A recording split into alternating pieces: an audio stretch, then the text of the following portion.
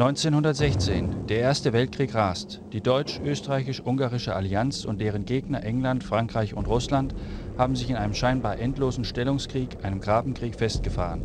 Jeden Tag sterben Tausende von Soldaten, ohne dass sich die Fronten auch nur um das geringste verschieben. Es hat den Anschein, als ob Europa nutzlos in einen gigantischen Friedhof verwandelt würde.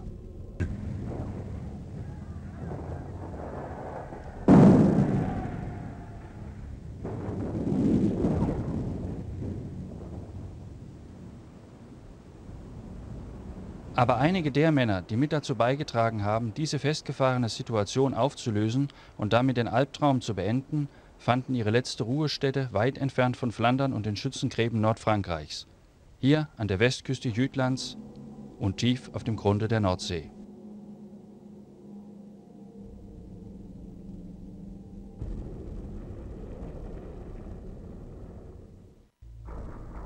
Der Schlüssel zu diesem bis dahin größten Krieg der Weltgeschichte liegt nämlich auf dem Meer bei der englischen Flotte, die man jahrhundertelang für unüberwindlich gehalten hatte. Um überhaupt Krieg auf dem europäischen Festland führen zu können, mussten die Engländer das Meer beherrschen. Doch in den Jahren vor dem Ersten Weltkrieg hatten die Deutschen in großer Eile ihre eigene Kriegsmarine aufgebaut, eine Hochseeflotte, deren Rückgrat aus riesigen, gepanzerten Stahlkolossen besteht, die sich mit den größten der Engländern messen können und von denen jeder einzelne eine Feuerkraft besitzt, die eine mittelgroße Hafenstadt dem Erdboden gleichmachen kann.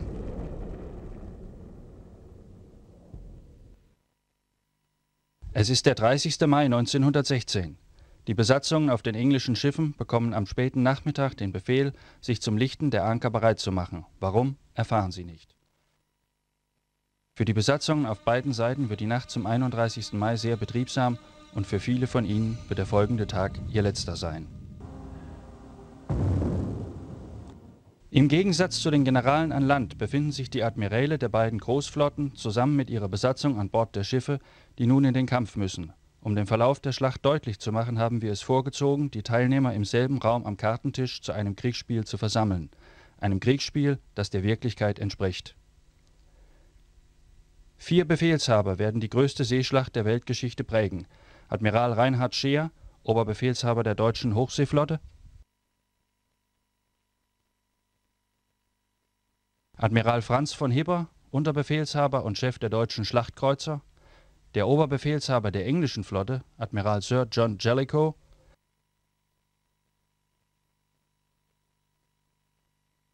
und dessen Unterbefehlshaber und Chef der Kreuzergeschwader, der schillernde, temperamentvolle Admiral Sir David Beatty.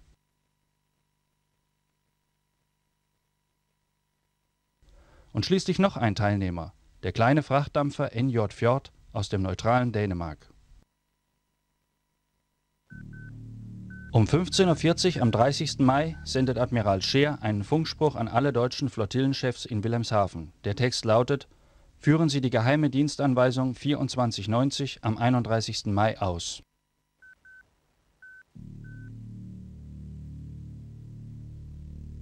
Die Engländer hören den Funkspruch ab, wissen jedoch nicht genau, was er bedeutet aber sie sind nun vorgewarnt, dass die deutsche Hochseeflotte eine größere Operation begonnen hat. Es ist nun 21 Uhr am 30. Mai 1916. Der Aufmarsch beginnt.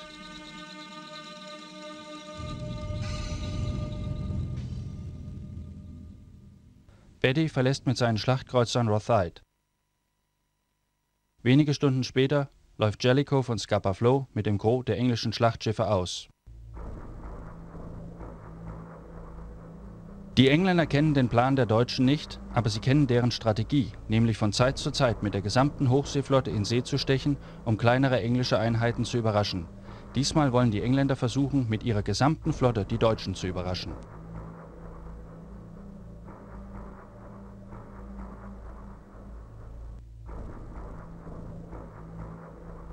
Wir sind jetzt unterwegs, schreibt ein englischer Seemann in sein Tagebuch, aber es wird wohl gehen wie so oft zuvor.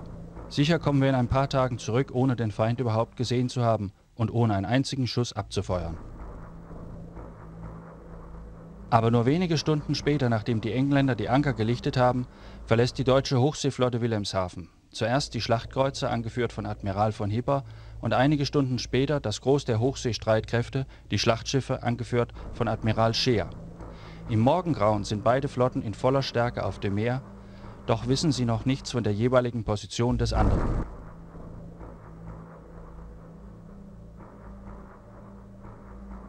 Insgesamt 100.000 Mann an Bord von 250 Kriegsschiffen mit den schwersten Waffen der damaligen Zeit suchen sich gegenseitig unter dem bleichen Morgensonne der Nordsee.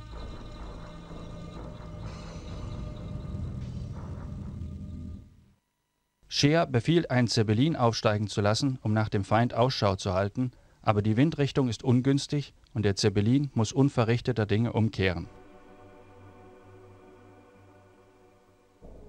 Auf dem englischen Flaggschiff Iron Duke hat Admiral Jellicoe vom Geheimdienst in London eine verkehrte Meldung erhalten.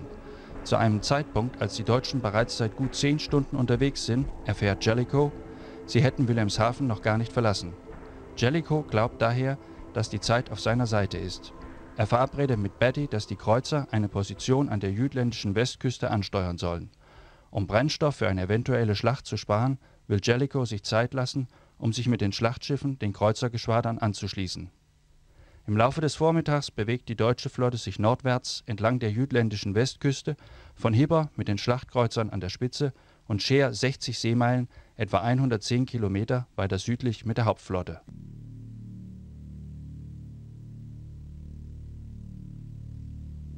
Über einen langen Zeitraum gibt es keine Funkmeldungen. Um die Position nicht zu verraten, ist in beiden Flotten Funkstille befohlen.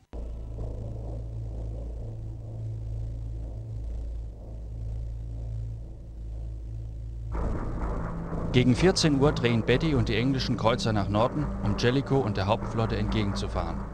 Betty und von Hipper sind auf Parallelkurs an der Westküste Jütlands, jedoch immer noch voreinander hinter dem Horizont verborgen. Beide ahnen nichts von der Anwesenheit des anderen. Um 14.30 Uhr sichtet das vorderste deutsche Schiff eine Rauchsäule im Westen. Admiral von Hipper beordert den Kreuzer Elbing und zwei Zerstörer, die Sache zu untersuchen. Elbing stoppt das unbekannte Schiff, das sich als ein Frachtdampfer aus dem neutralen Dänemark erweist, die NJ Fjord.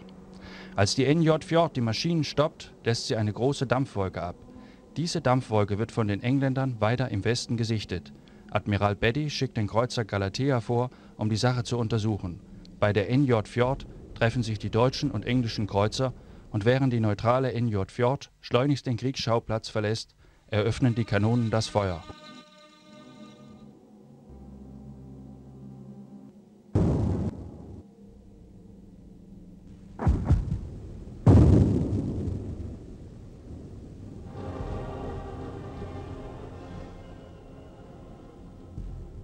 Die größte Seeschlacht der Weltgeschichte hat begonnen.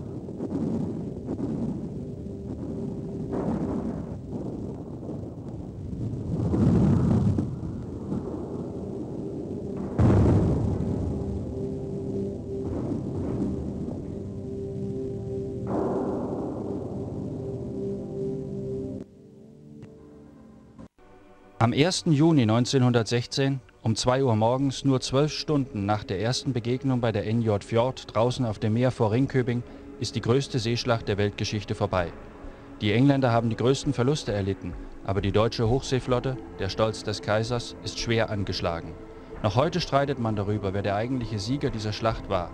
Nur die Bilanz des Todes ist eindeutig.